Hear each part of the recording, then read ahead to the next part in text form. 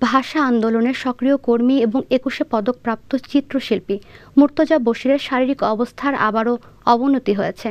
অসুস্থ অবস্থায় তিনি এখন ভর্তি আছেন ঢাকার অ্যাপোলো হাসপাতালের সিসিইউতে। শিল্পী মুর্তজা বশিরের কন্যা মনিজা বশির বিজয় টিভিকে জানান, লাঙে পানি জমে যাওয়ার কারণে তিনি অসুস্থ হয়ে পড়েন। শনিবার রাত বারোটায় পরিবারের সদস্যরা তাকে অ্যাপোলো হাসপাতালে ভর্তি করেন।